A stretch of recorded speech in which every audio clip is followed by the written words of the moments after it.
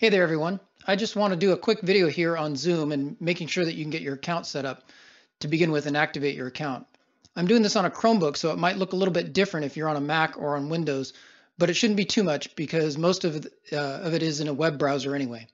So to begin with, you should have received an email from Zoom that says Les Brown has set up an account for you.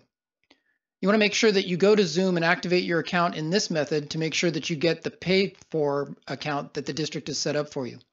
So that will get you more features. You'll be able to have uh, more guests and longer meetings.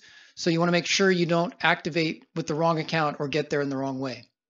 So anyway, you want to kick, click this button, activate your Zoom account, this button, and that will take you to a page that looks like this. You want to choose sign in with Google and your school district account is a Google account.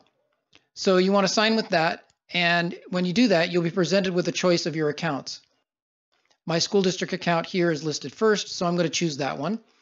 Make sure you choose your school district account, otherwise you will not get the paid for features that you should.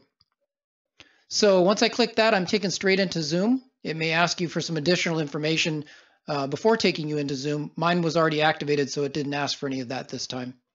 Once you get in here, feel free to explore and look around, uh, try out the different things.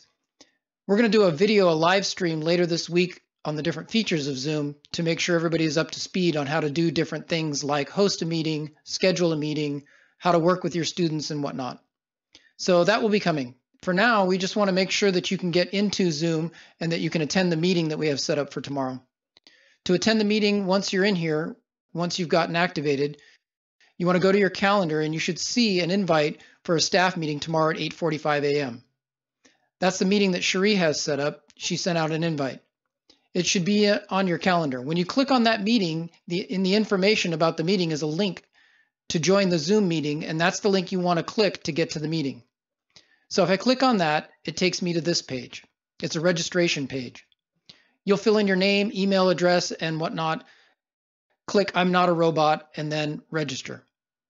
Once you do that, it'll dump you into a waiting room until the meeting starts. So if you get here a little bit early before 845, which is probably a good idea, just make sure you can get logged in and whatnot.